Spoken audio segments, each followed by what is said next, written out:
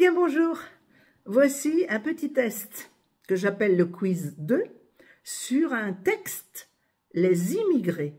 Donc vous allez écouter et lire le texte et vous trouverez les adverbes de lieu. Le texte. Mon père est arrivé ici, en France, en 1956. Ma mère l'a rejoint en 1962. C'est là qu'ils nous ont élevés, mon frère et moi.